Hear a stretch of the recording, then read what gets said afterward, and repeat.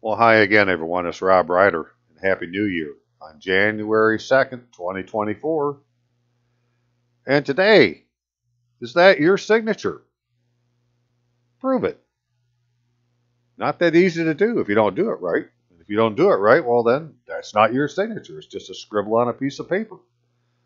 Got to find out they got a procedure for these kind of things. And uh, that's part of what we're going to talk about today.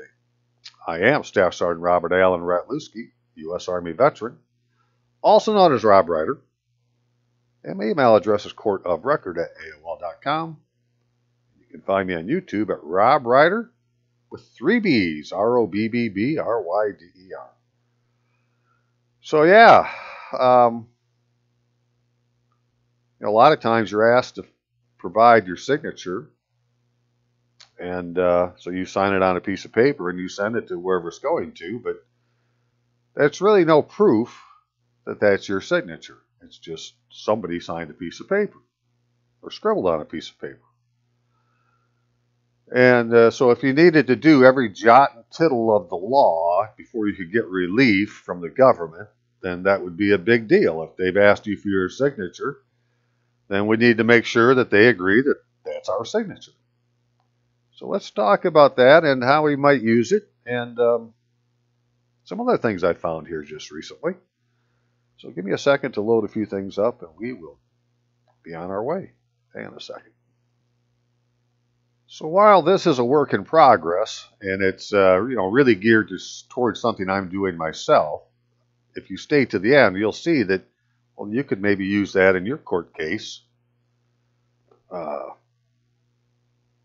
petition for relief, whatever you want to call it, that you're trying to get something done, and uh, and a way to make a record of it, and some other interesting things that I've come across since I tried this uh, relief one way, and I'm going to try it another way because the first way doesn't appear to have worked. And the first way was to try to do what it said in Title 31 of the United States Code in Section 3702 right? 31 USC 3702, which is authority to settle claims. And it says, except as provided in this chapter or another law, which turns out to be quite important, right there, comma, all claims of or against the United States government shall be settled as follows. Before we get into those, see here they call it United States government. Other places we're going to see they call it government of the United States or they don't call this. I don't don't even believe they're the same thing. It's just you'll see United States government and you'll also see government of the United States. Well, the people are the government of the United States. We the people. The United States government is the thing that's supposed to do the stuff for us. It's kind of how I'm looking at it. But uh, you know, when you're looking for all the differences to find out why something doesn't work and compare it to what you should have done and so forth, you know, you come up with a whole list of things. So, anyways, in this, it said then that the Secretary of Defense shall settle claims involving uniformed service members' pay, allowances, travel, so forth and so on. Um, okay, so it would sound then that if I had a claim for pay, I would take it to the Secretary of Defense. That's simple enough. Then it has these other ones, if it's civilian or so forth to do, and you get to be in a claim against the government presented under this section must contain the signature and address of the claimant. There you go. Signature of the claimant. Well, how do you prove that that's your signature on the document you're going to send to the Secretary of Defense? Right? You, I mean, I know that you know that it is, but how do they know that it is? Well, they have things to make it, you know, so that you can say that it is your signature. But continuing on, the claim must be received uh, by the official responsible under subsection A, so in my case, Secretary of Defense, for settling the claim, or by the agency that conducts the activity for which the claim arises within six years after the claim occurs, except, and it goes on with some things. So, you know, this telling me that if I want to send a claim for pay to the Secretary of Defense, I have to make sure it gets to the Secretary of Defense. Well, I tried to do that. And, uh, you know, Secretary of Defense has his own mailing address. which is Lloyd J. Austin III, Secretary of Defense, 1000 Defense, Pentagon, Washington, D.C., 20301 1000. That is the mailing address of the Secretary of Defense. And so I paid uh, 13 bucks to mail something to him to that address. But what happened? Well, you know, I did the tracking and it said, right, we can look at delivered. Delivered individual picked up at the postal facility. That's what's up here now. Right at 10:33 a.m. on December 11th, 2023, in Washington D.C. 20310 by Pentagon 20301 R6. Item was signed for by N. Turner. Well, there's something wrong with that because I didn't send it to this post office where it was picked up at. I sent it to 20301, which is the post office that never made it to. They're claiming that somebody from Pentagon 20301R6 picked it up, but that isn't where I sent it. Right? I mailed it to the Secretary of Defense, his mailing address, right, which is 20301 not 20310. So obviously, you know, somebody's intercepted the mail.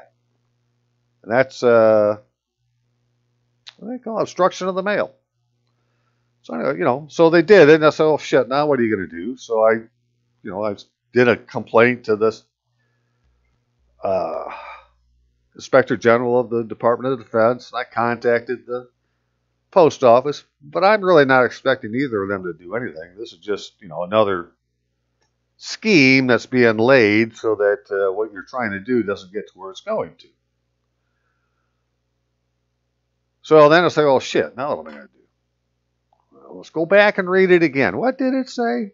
And we go on and reread some more, blah, blah, blah, which, you know, most of this you can read yourself, but don't have much to do with what I'm trying to get to which was down here where it says, well, where this section came from, right? So 33702A, which is the part talking about the Secretary of Defense, right, comes from the statutes at large. Well, that's good to know. Out of 42, stat 24. So there is a, I don't think I pulled it up, but there is another United States code on just a second. Uh, one one one USC one one two. All right, this is a Title One United States uh, United States Code, Section one twelve. Statutes at large, context, admissibility, and evidence. And it goes on to talk about them, and it gets down here and says the statutes at large shall be legal evidence of laws, concurrent resolutions, treaties, international agreements other than treaties, proclamation by president, and so forth and so on, and in all courts of the United States and several states.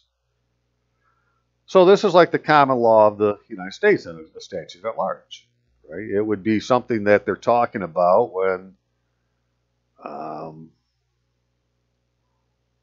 in the uh, sixth article of the Constitution, where it says this Constitution and the laws of the United States, which shall be made in pursuance thereof, and all treaties made, of which shall be made under the authority of the United States, shall be the supreme law of the land, and uh, judges in every state shall be bound thereby. Anything in the Constitution or laws of any state to the contrary, notwithstanding. That's pretty plainly written, and I'm saying, well, then the statutes at large are these laws of the United States that they're talking about. So let's go look and see what that had to say. Right? Let's go see what the law said, not what the code said. So when they first wrote it, it was a law, later codified. Where is all these things? Uh, da, da, da,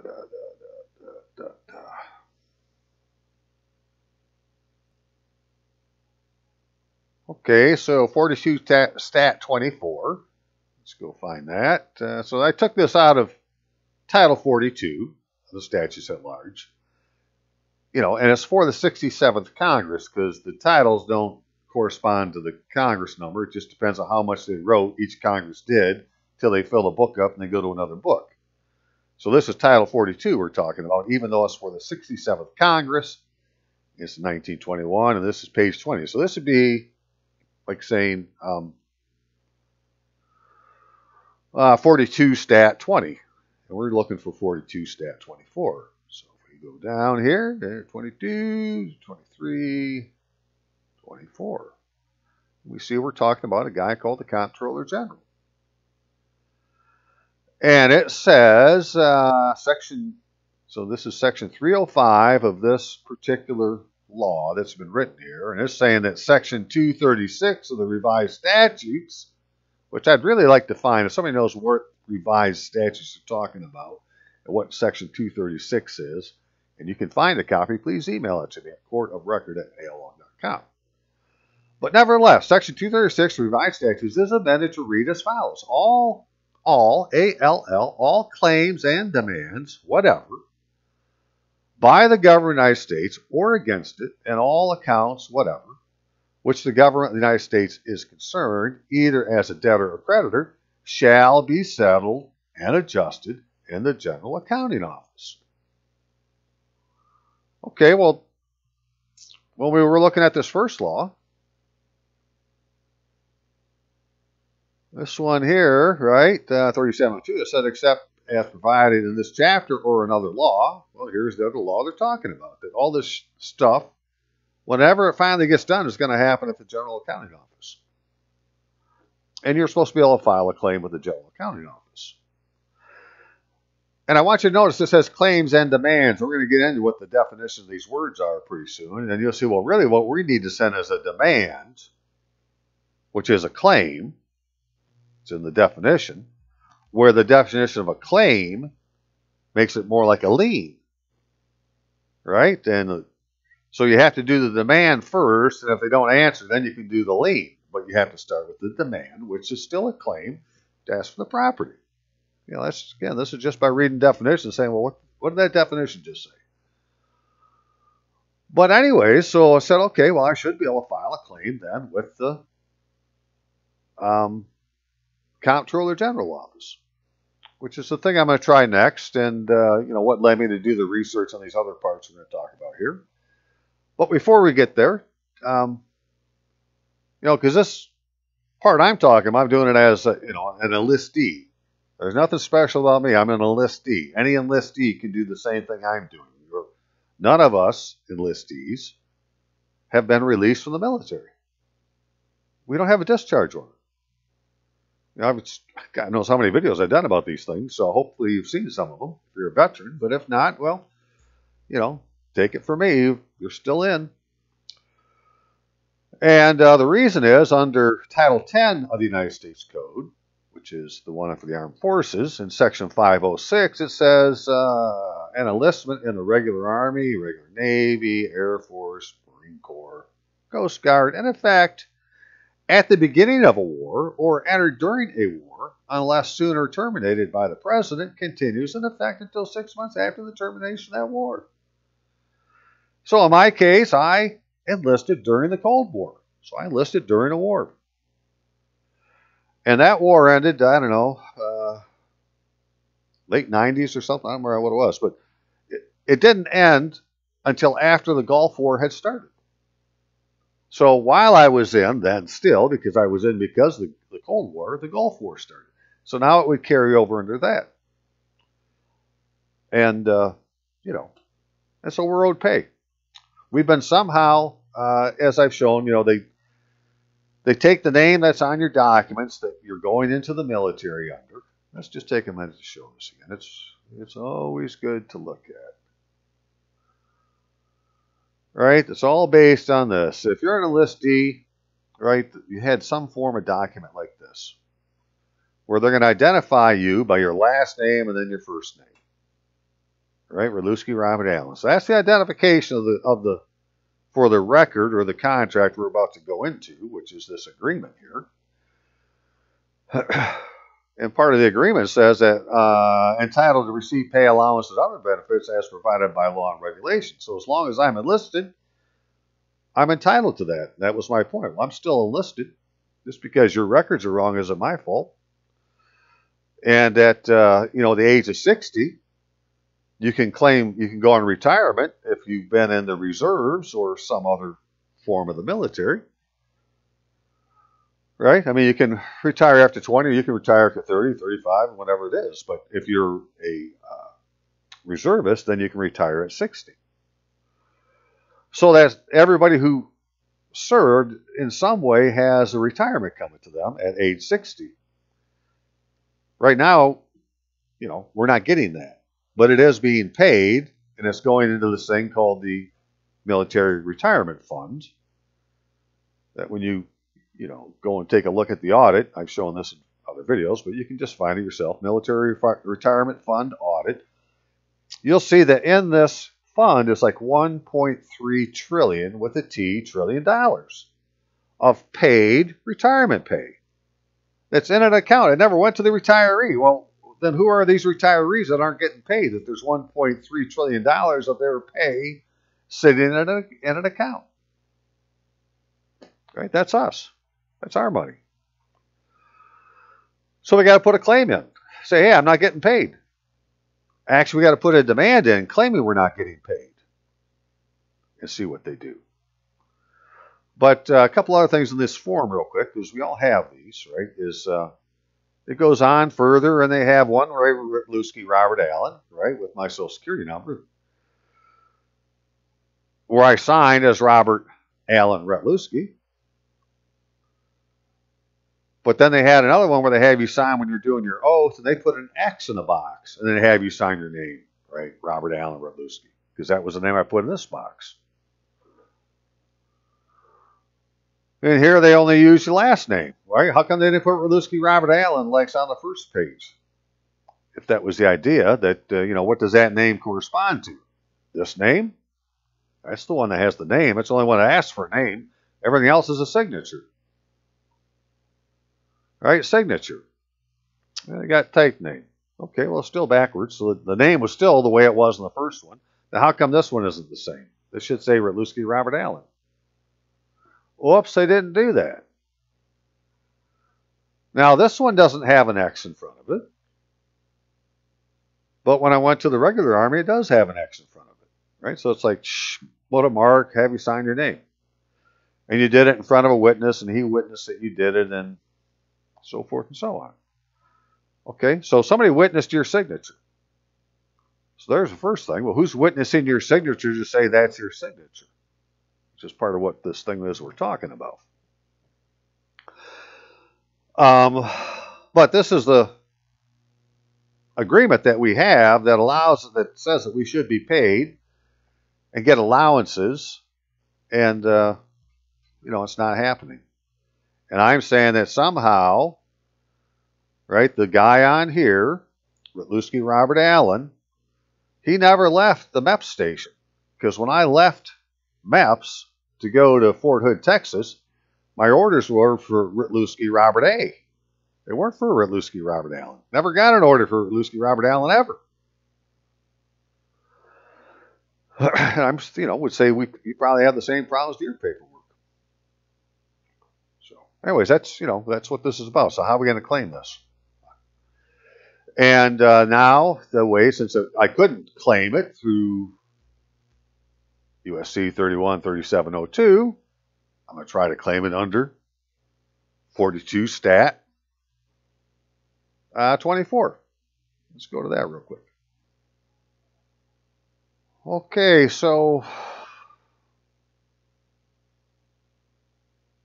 um, none of these things ever line up number wise. So, in Title 4 of the Code of Federal Regulations, which is supposed to be where, in this case, the um, Comptroller General, you know, under the law, was supposed to write some procedures on how to do things. Well, they end up in this Code of Federal Regulations. Now, this is the regulation that's supposed to be filed to implement the law that was passed by Congress. And in uh, part 30 of Title 4 is uh, talks about uh, things to do with uh, claims against the United States. Right? Authority 31 USC 711 and 3702. Well, we were just looking at 3702 and USC 711 is basically just says that the comptroller general can do whatever the comptroller general needs to do to carry out his duties. Right? Claims against the United States. Now, again, this is Title IV United States Code. But when you go to find, let's say you go to the electronic version of uh, Title IV, and you look at it, or you just download the, you tell you want the complete package, there is no 30 in here, right? They've been, uh, subchapter C and D are reserved. And yet it's right here, right? And it's got the eagle at the top. This is authenticated. This is what the government printing office says. This is the, you know, Federal Reserve or the federal um, go to federal regulations. So I don't know why it's not in the complete when you go to look for it, but it, it's you can find it this way by doing a search for 4 CFR Part 30. All right, and you're looking for subchapter C, claims in general. And it says this part describes or prescribes the general procedures applicable to claims against the United States, which must be adjudicated in the General Accounting Office or in an agency out of whose activities the claim arose before payment is made or denied exclusive to the transportation claims. So in my case, the agency that I would be dealing with is the Army, really, not the DoD, right? I, uh, the Department of Defense is an agency, but so is the Department of the Army. but that's not the agency that I'm uh, was told to go to under 30, uh, 3207. It said go see the DoD. Oh, okay. Well, nevertheless, it also said if there's another law, use it.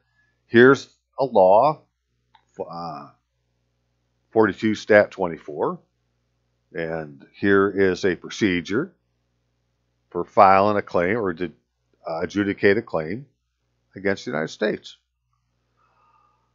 So, unless otherwise specifically provided, claims will be considered only when presented in writing over the signature and address of the claimant.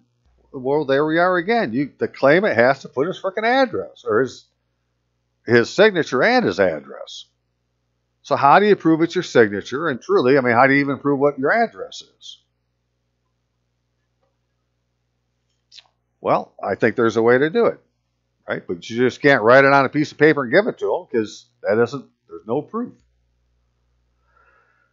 You know, that's the same when, uh, after the fiasco uh, election in 2020, we had all these people that were, you know, kept talking about all these affidavits that had been filed. And yet, people, the news were saying that there's no proof any of this had happened. Well, that's because an affidavit is not proof. An affidavit is an oath. Nobody filed any proof. You may use an affidavit in your proof, but it's not the proof. The proof is what was written, not the affidavit. So this is all done intentionally. This is why they do this. is Esquire trickery, right? They call it an affidavit instead of calling it uh, your sworn statement, which is really what it would be. You're going to give a sworn statement that has an affidavit in it, but it's a sworn statement. It's not an affidavit that you're filing because a sworn statement is a form of evidence. And evidence can be proved. But oaths are oaths and they can't be proved. An oath is whatever the oath is. But if you didn't um, uh, prove your signature on your oath, then, you know, who's to say that you signed it? And so they have us down, you know, the devil is in the details, my friends. It's all in, the devil is in the details. It's these little freaking things to do with grammar and sentence structure and what's the definition of a word and so forth and so on that, you know, that we need to get straight if we're ever going to get relief. So, right, over the signature and address of the claimant. Okay, well, I got an idea how to do that. Generally, no particular form is required. Okay. Uh, succeeding parts of this chapter specify different forms of claims. Okay, so you don't, you know, it can be in a letter format. You just have to make a claim. But really, you have to make a demand, which is a claim. Because that's what the definition says that a demand is. We'll get there in just a minute uh, where a claim should be filed uh, in appeals. A claimant should file his or her claim with the administrative department or agency out of whose activities a claim arose. Now, again, that's for a claim, right? And this said that the guy can uh, adjudicate, uh, where was it? It was here, right? Claims and demands. Okay, well, we're not talking about, uh? All claims and demands.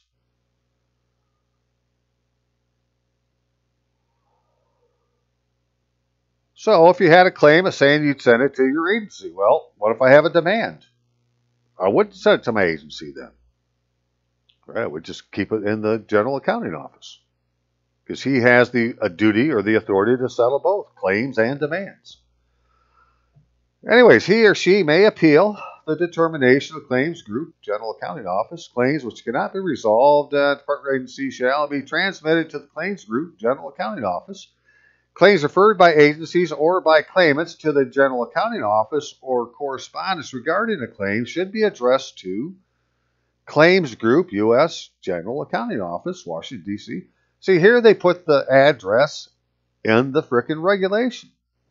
Where in the other one, it just said uh, you have to contact um, the Department of Defense, Secretary of Defense, you know, and you're responsible to make sure he gets it but then they never gave you the address to send it to. I used the mailing address they gave, and well, it didn't make it to that. It didn't even make it to that zip code. So when I do this one, I'll be sending it to that address. Right here, right? Claims Group, U.S. General Accounting Office, da da da da. Okay, all claims against the United States government, right? United States government, not government of the United States, although we should see that here soon uh, except as otherwise provided by law, it's up to six years. Okay, and one of the one of the caveats of the six-year thing is if it happens during a war, which everything that do with us has happened during a war. If you're a veteran trying to put in a claim like I am, and uh, yeah. So how do we get all this done and get the dang thing properly formatted, right, do form a law to be issued or sent to the uh, Comptroller General, the Claims Group, U.S. General Accounting Office. Over here, they had another Claims Group General Government Division of the General Accounting Office. Right, they have a different address. Claims Group, General Government Division, U.S. General Accounting Office, Washington, D.C. You know, don't have any room numbers or anything else to say that there's anything different. It's just uh, they added this thing called the General Government Division into the address. Okay, well, I have to keep that in mind. Right, so uh, Right, we need to prove our signature. So here's a DA Form 2823. This is the sworn statement form used in the military or in the Army. So if I wanted to do a sworn statement, or I could do this, I put your name in there, want to, you know, make the following statement under oath, blah, blah, blah, what it is. And you get to the end, and it has this affidavit here, right? So again, this is not an affidavit. This is a sworn statement, but it has an affidavit in it. But it isn't just an affidavit, it's a particular kind of affidavit. Because guess what? There's numerous kinds of affidavits. Just like there's numerous kinds of uh, habeas corpus. They only ever mention two, but there's, you know, a list of them someplace. That's, you know, those are common law terms from the laws of England. So whatever they said then is what they are, right? And there's many forms of affidavits. One of them is the one called the self-authenticating affidavit. And that's what this style is. Where not only you, but two witnesses are going to swear before a notary or somebody who's uh, authorized to administer oaths. Right? If you did all that and sent this in, well, then that would be um, your signature would have been verified. So there's a couple ways to do it. Let's see what it says here. So, uh, self-proving affidavits, uh, self-proving affidavit, sworn statement attached to a will. Well, that's one thing. Or we just say lowercase will, then that's the thing you wanted to do, right? Your free will act, not a will as a dead person. Uh, the affidavit is signed by the will maker and witnesses right? Signed by the will maker and witnesses, and it attests to the validity of the will. It does not necessarily include self-proving affidavit. Uh, it is not necessary to include a self-proving affidavit, but that's what we want to do. Properly written, signed, and witnessed. And uh, will is legal without it. But including one may help probate go more quickly. So so, anyways, there's a couple ways to prove will. One is to do it in open court. And I have to laugh because that's what they did to Rosita one time in her court case. She had a traffic case and she was like, you know, in the room and they're calling people up. And the only thing the judge was asking each person when they came up was pointing at the document and saying, Is that your signature?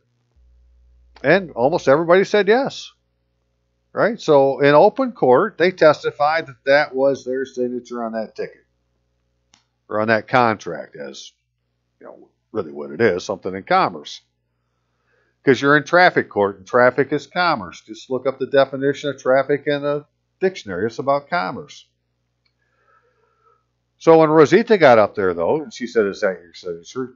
Rosita said, uh, "Well, I'm not a handwriting expert. I can't tell you."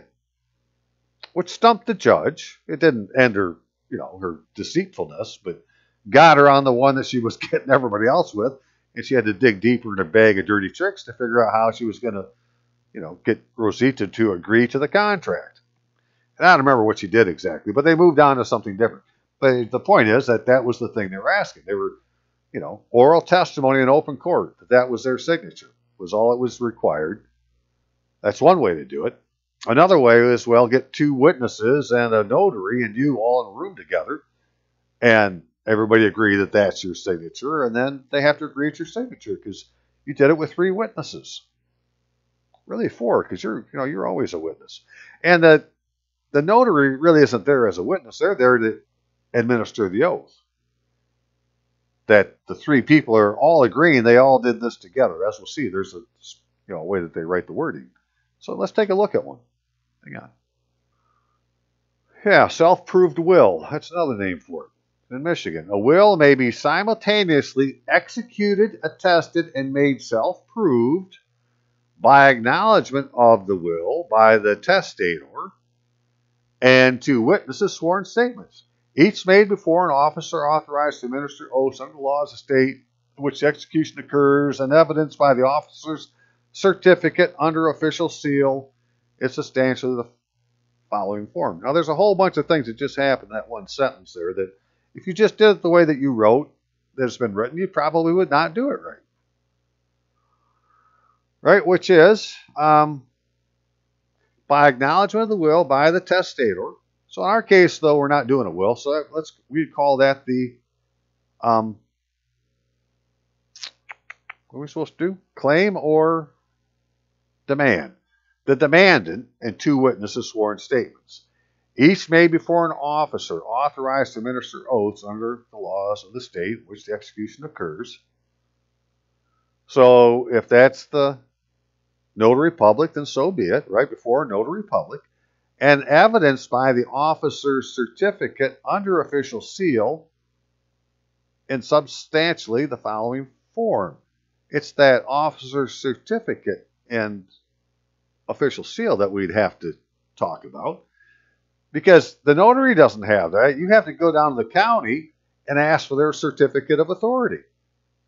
That allows them to be a notary. You know, the proof that the person really is a notary is kept at the freaking county building in the clerk's office. And you can go there and get a certificate of authority. Let me, let me show you one. So, like in Michigan, the you go to the clerk's office and you take the document that has the notary um, stamp on it, let's say, and you go and they give you a document that has the seal on it, like this. And uh, where it says seal of circuit court. I guess that's of Kent County, Michigan. Or is it for Kent County, Michigan? I think it's of. Right? Uh, and they put the certificate of authority on it. So this is the certificate they're talking about. Way back here where it said you had to have the uh, certificate under official seal of the notary. So just the notary itself isn't enough. Now you got you're going to have to go to the clerk and get the clerk to do her thing. And they're going to do it on something like this, where it says, I, you put your name in, I'd be the demandant, sign my name to this document on whatever day I have taken an oath administered by the officer whose signature and seal appears in this document, swearing that the statements of this document are true. Well, that sounds like a sworn statement. I declare to the officer that this document is my will, okay, or my demand, that I will that I sign it willingly, that I execute it as my voluntary act, and that I'm 18 years or older and that I have sufficient mental capacity to do so. Okay, yeah, sign, da, da, da, da. And then we, right, this is the two witnesses then. The witnesses sign our names to this document have taken an oath administered by the officer whose signature seal appear on this document. That all sounds about the same. Uh, the true that the uh, individual signing this document as the testator, in my case the demandant, executes the document of his or her will, right? Just your free will, signs it willingly, or directs someone else to sign it, executes that a voluntary act uh, expressed in the will. Each of us, in our in the in the presence of the claimant testator, signs this will as witness to the testator signing. Why are they? What are they doing? They're witnessing the person sign the damn piece of paper to the best of our knowledge, that the testator is over 18 and under no constraint, undue influence, blah, blah, blah. And then they sign it. And then you got the state of and county of. Now, I think this is very interesting. They put the state of because that's the official way that the state of Michigan is known in the very first uh, Constitution of Michigan, where it says that uh, we, the people of the territory of Michigan, establish da, da, da, and uh, a free and independent state by the style and title of the state of Michigan. Well, they never use that anymore. They call it state of Michigan. they don't ever call it the state of Michigan. Sometimes they just use Michigan, but they never use the state of Michigan. And that the state of Michigan is in the Union. And the Union is the United States because the United States of America is the confederation created under the Articles of Confederation. And United States of America is King George's jurisdiction. According to the Treaty of Peace. 18, uh, 1783. Right, but the state of Michigan. So this is like, you know, put using this document, the way they're showing it would be putting it into the de jure um, you know, proper state of Michigan, the thing that was first created. We've had four, five constitutions for Michigan. Only one of them uses the state of Michigan as the style. All the rest use state of Michigan. And uh, seal, signed, official capacity officer. Yeah. And then on top of this, then, so you'd have this on the bottom of your document, all this blah, blah. And then you'd have to take this and the document to the uh, county clerk's office and then give you a certificate of authority for the notary. And if you were to attach all that then to your whatever your document is that you have, you would have made it a sworn statement. It's like, okay, well now they have to they have to agree that's yours because your signature has been um, witnessed, testified to. Okay, so that's a lot of one way to do it. Then you read further on in this law, you get down to this part here where it talks about that instead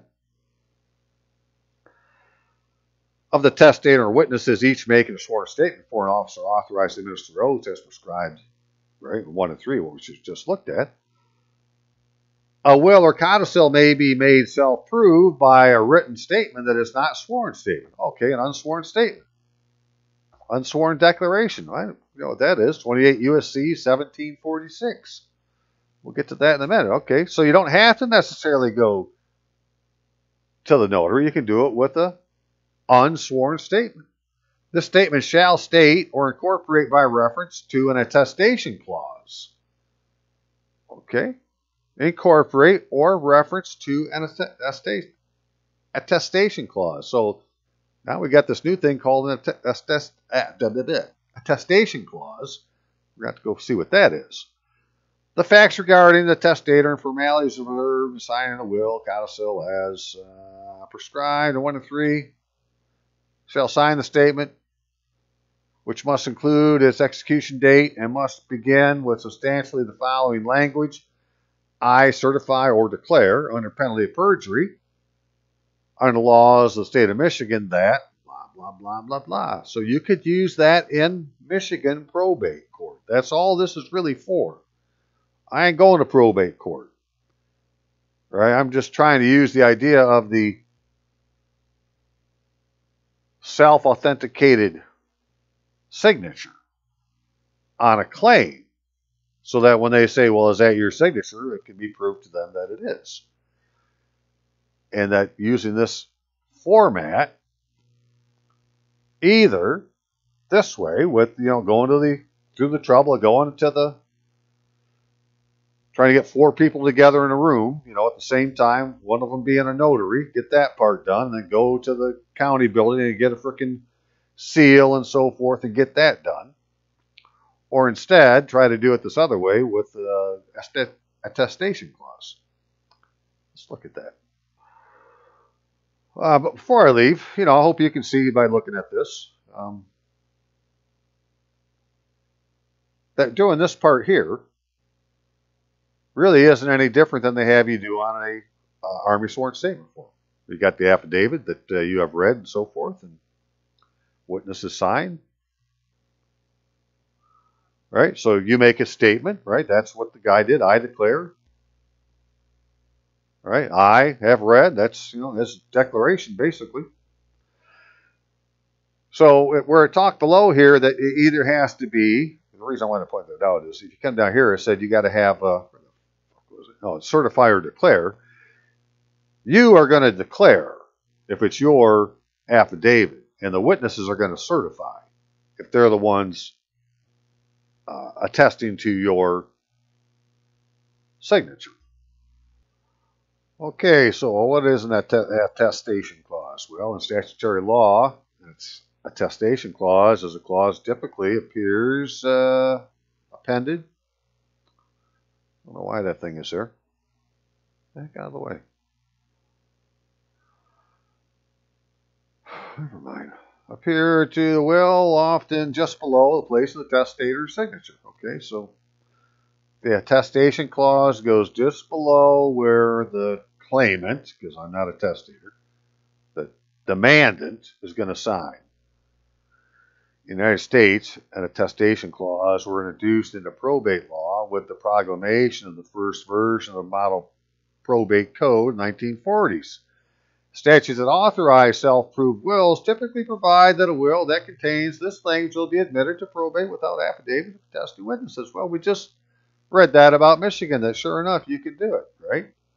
An attestation clause, model probate code language might provide, and then here's the things we're going to say. We, the undersigned, testator and undersigned witnesses, respectively, whose names are signed this attached or foregoing instrument, declare uh, testator execute the instrument, uh, testator's will. That in place uh, in the presence of both witness and testator and acknowledged the signature.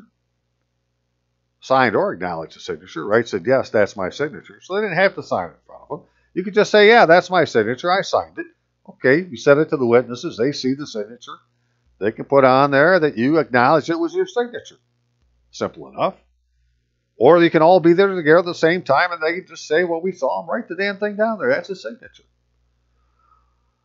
Free will, right? You got to tell them it's your free voluntary act. Got it. Uh, that each witness in the presence of the testator and each other signed. Okay, everybody signed in front of each other. We all saw what was going on. The testator's a sound mind. Uh, best knowledge over 18. Validity of the forms of testation is. They matter U.S. law. Okay, so what's the U.S. law say? Well, it says whenever 28 U.S.C. 1741, United States Code says whenever, under any law of the United States, or under any rule, regulation, order, or requirement made pursuant to law, any matter is required or permitted to be supported, evidenced, established, or proved by the sworn declaration, verification, certificate, statement, oath, or affidavit in writing of the person making the same, other than a deposition, oath of office, and oath required special credit office official other than the notary public.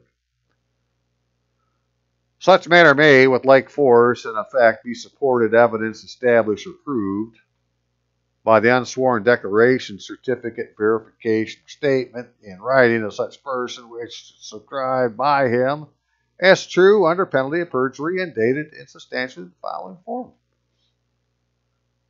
All right, I executed, well, this is without the United States or within, so within.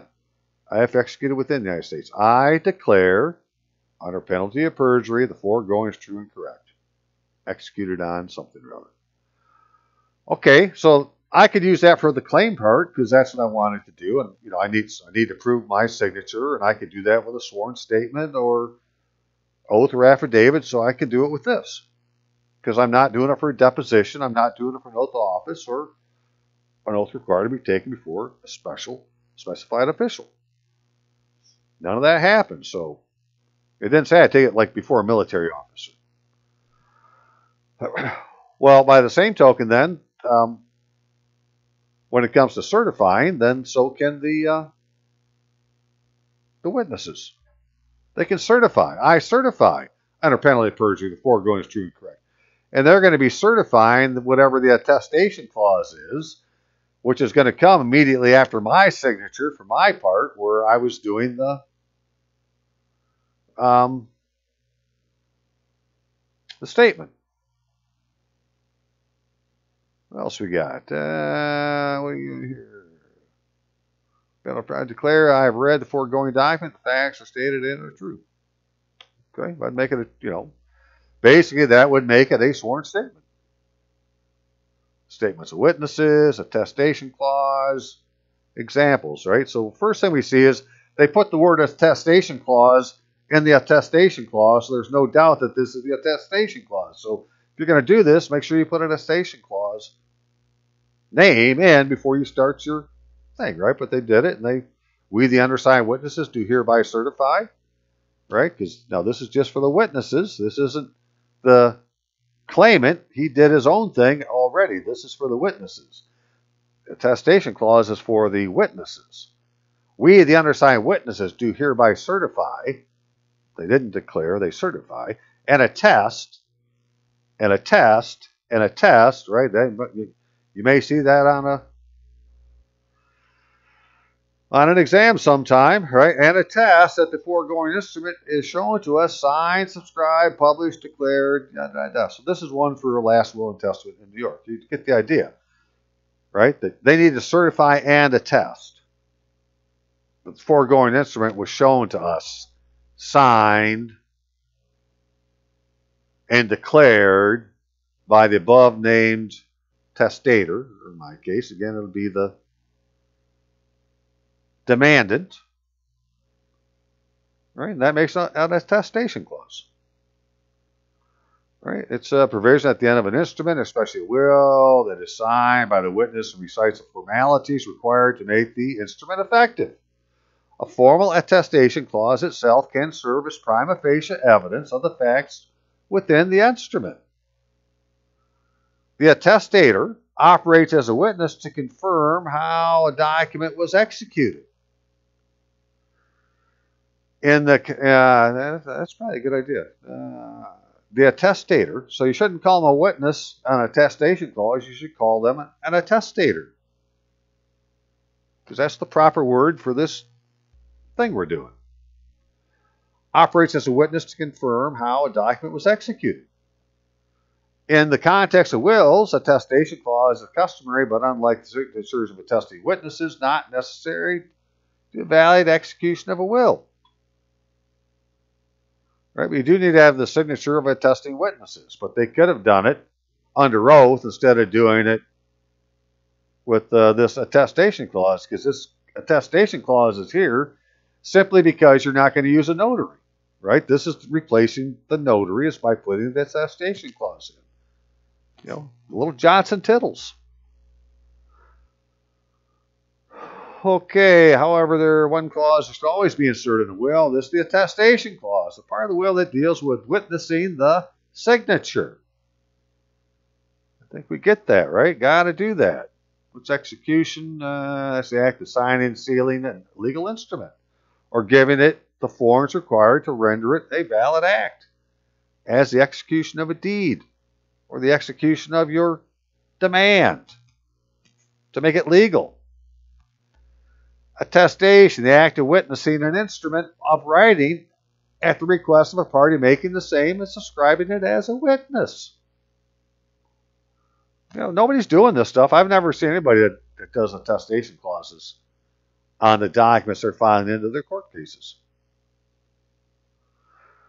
Right, attestation clause. Uh, the clause wherein the witness certify, not declare, state. Nope, they certify. That's what witnesses do. The instrument has been executed before them, and the manner execution of the same, the usual attestation clause to a will, signed, sealed, published, so forth, so on. That of deeds is generally in the words sealed and delivered in the presence of us. Right? Signed, sealed, delivered. When there is an attestation clause in a will unsubscribed by witnesses, presumption, uh, though slight, is that the will is in an unfinished state. Okay. Well, make sure they sign it then.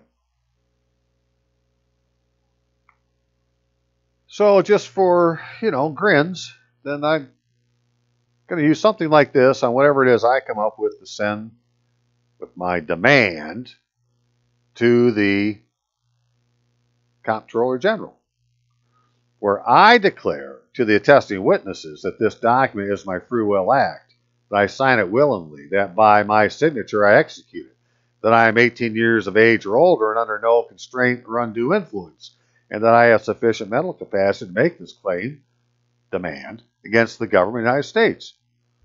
Right? I declare under penalty of perjury the foregoing is true and correct.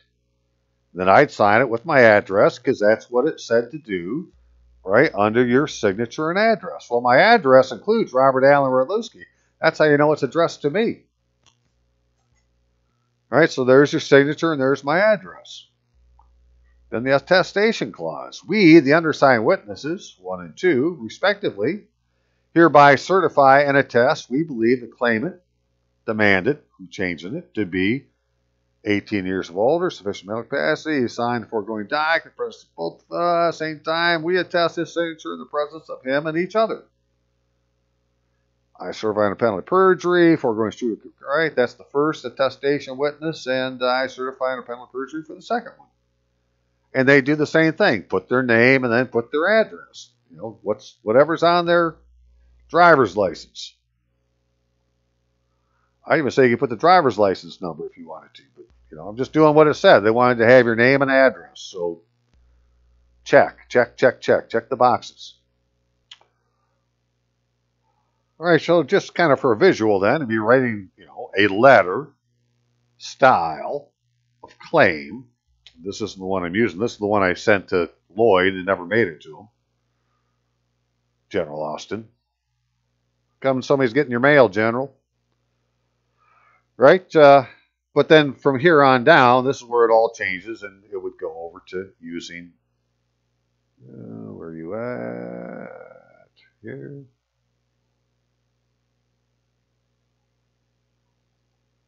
you know, something like this. So, um, so is it a claim or a demand? Let's get through this real quick. And then we're going to go to, you know, what you might do with the document before you actually send it to somebody. So they said claim or demand. So if you go to uh, Bouvier's Law Dictionary and look at demand, it says, uh, right, it's a claim, a legal obligation. Okay.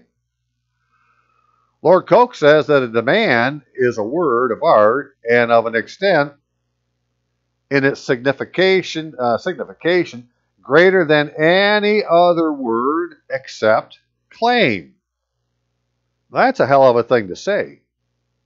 Right, Lord Coke, he wrote uh, the Institutes of the Laws of England, I think it was, back in the 14th century. Sat on the king's bench as the, you know, the grand poobah, and yada yada yada. Right, so it's you know it's him saying it, right? The the grandfather of the laws of England, the common law of England, saying that of all the words that there are, uh, other than claim, demand is the second greatest signification is that word. Well, then we should probably know something about it. So, in practice, a demand is a requisition or a request for one individual to another to do a particular thing. Well, I want to be paid. Got it. Demands are either expressed or implied. Expressed or implied. In many cases, an express demand must be made before commencement of an action.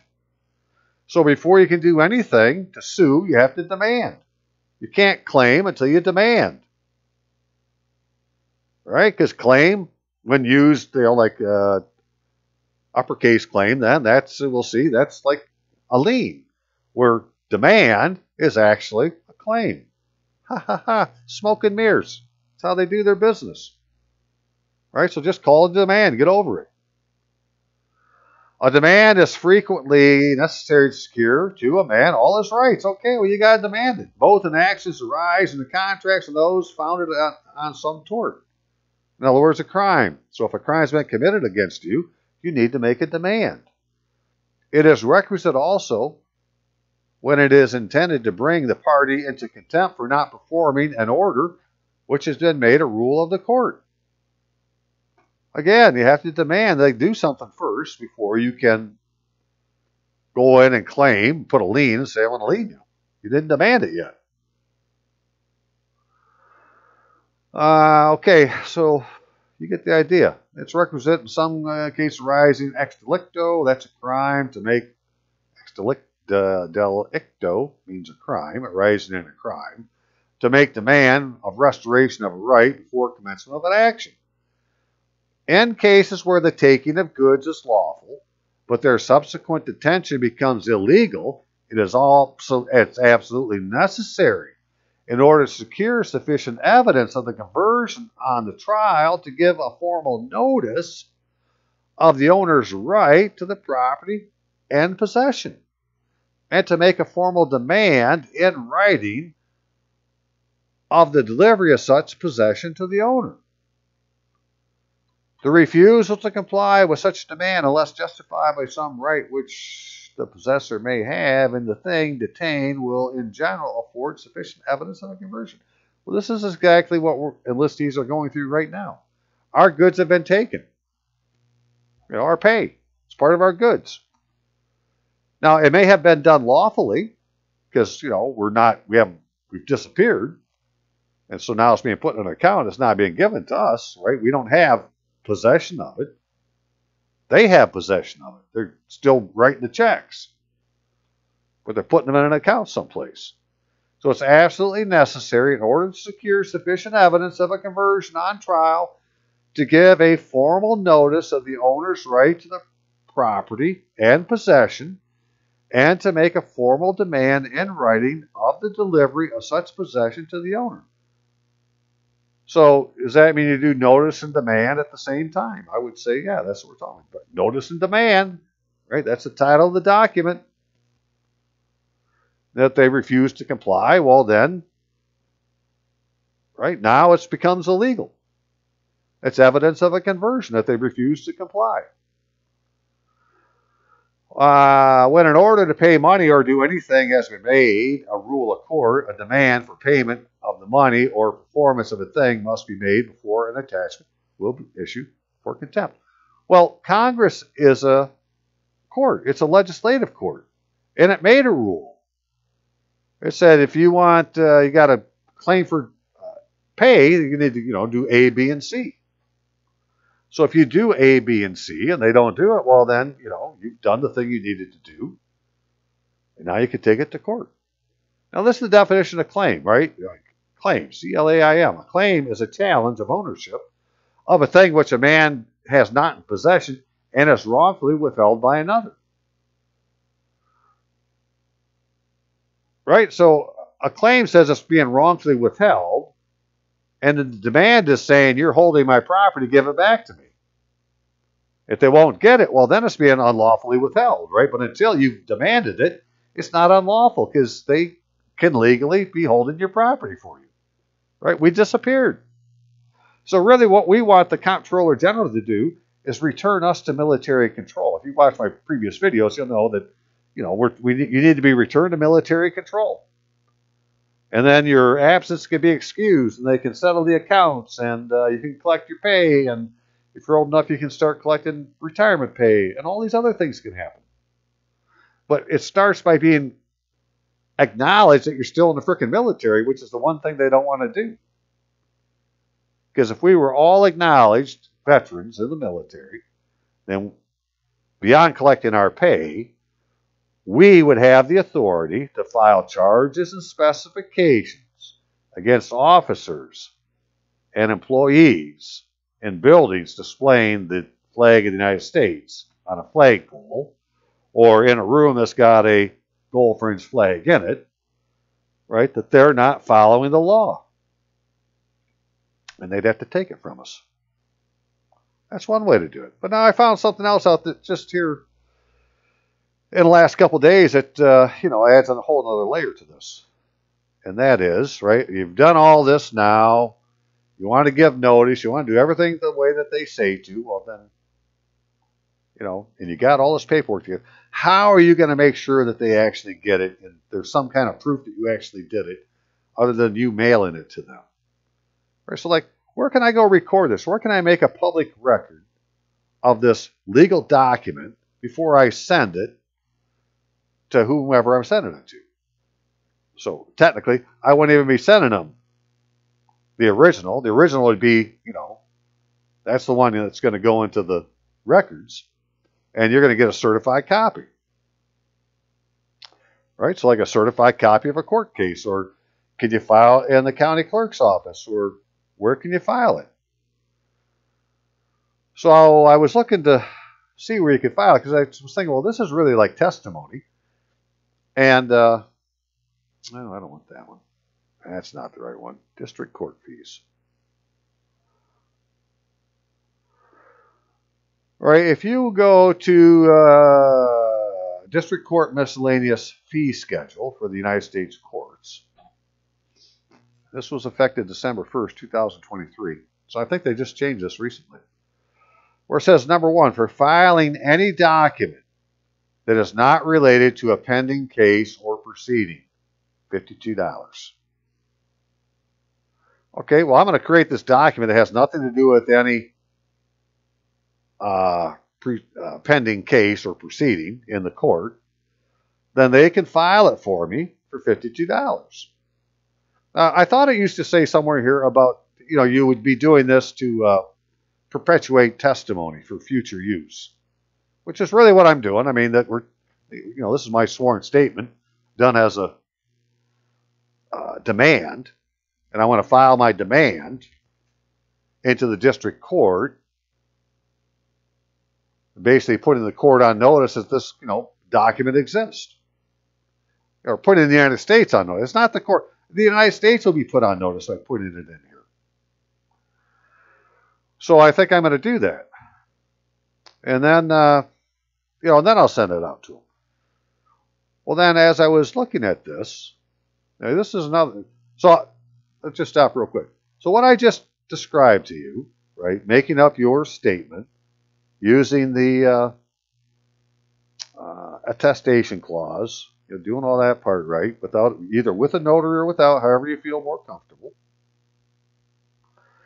and getting that part done and if you use a notary, remember you got to go to the county clerk's office and get the certificate of authority. You know, get it all done, do it every jot and tittle, do them all. Then take it down to the district court and have them file it. Now, um, I, you know, I haven't finished what I'm writing yet, so I can't do it. But I'm going to call them and see. Well, can I just mail it to you, or do I got to actually come down there? Because, you know, it is really that convenient to go to the federal court, especially in some places. I mean, here it's not so bad. I know in a lot of places it's miles and miles, or hundreds of miles away from you. So, well, can you mail it to them? Because if we're talking administrative stuff, you're going to mail it to the clerk. They're going to file it. They're going to give you certified copies. They're going to put them in an envelope. They're going to mail them back to you. What's that going to cost? Right? Send me an invoice. Put it all together. So, um, do that. But as I was looking at these and I went down further, I saw this one processing fee for an offense charged on a federal violation notice. $30. Well, that's interesting because I do have a thing. All right, so let's be really clear what it says. Uh, processing fee for an offense charged on a federal violation notice. Well, the United States Courts has a United States District Court violation notice, but you know those words aren't the same as this. It said a federal violation notice, not a United States District Court violation notice. This may be a style of one, but it isn't necessarily all of them. I guess what I'm saying. And you can see on this though that you can be charged for violating the CFR, the Code of Federal Regulations, or the United States Code, or your state code. Right? All those are different charges you could be charged with with this document. And if this is being filled out by the government, which, you know, this is like a government form, right? Uh, so the United States is the one filling this form out. Up here it says the United States should not be charged any fees. So this down here for this 30 bucks, they're not talking about the United States in this freaking form here. They're talking about you filing a notice, a federal violation notice, charging that somebody violated an offense or uh, that somebody violated one of the laws, you're making a charge. So this is like charges and specifications, right? That you could charge somebody for an offense as a federal violation notice and take it down here and have it filed for $30 as a notice, right? Well, who are you noticing? Well, it's, you know, obviously it's a notice to the United States of a federal violation, and they would have to look at it then and determine if there was probable cause that there had been a violation. And then, you know, they would file the freaking complaint. So, you know, it's doing the same thing as this, except this is something used by federal agencies, and federal agencies don't pay to have their stuff filed, so that isn't what this is talking about. It's talking about you charging an offense of a uh, federal violation on a notice. So that would be the thing now. If I have done all these other things and I went and filed it here, and I mail it to the address, and I get the certificate back from UPS that has been, or USPS that has been mailed, all these other things have been done, and then they, you know, don't settle the claim, well, then I can file a violation of uh, not filing the CFR or whatever it ends up being. I can think of lots of things to use this for, and that'll be a whole other video. But I just pointed out, well, ain't that something? For 30 bucks, you can file an offense of a violation of a federal law um, with the court. I don't know if anybody's ever done it. If you had, please tell me how you did it, and you know, share the share the knowledge. If you filed anything under 15 in the federal court processing fee for offense charged on a federal violation notice. $30. Right? So if you're trying to get something done and you get to the point you can say, well, they're not doing this, I mean, which just happens all the time. Like in court, for instance, um, the attorneys never sign their paperwork. The, the, the complaint is never signed by the complainant. There's just all sorts of things that are wrong. the clerk didn't process it properly through the clerk's office. You could put all those things in and then file this thing here. So this would be like petitioning the government for the redress of grievances. saying, well, this is what the law says, and they're not doing it. You put them on notice. Powerful tool if it works. I can't wait to try it. Uh, but that'll be here in a little bit because I got a few other things to do first. I'm just pointing it out now to those paying attention because, you know, if you got some kind of issue, this may be the way to get the issue taken care of quickly. So if you try something and it works or it doesn't work, I don't really care. If you try something using that, please let me know what happened. Send it to court of record at AOL.com. No S's on court or records, court of record at AOL.com.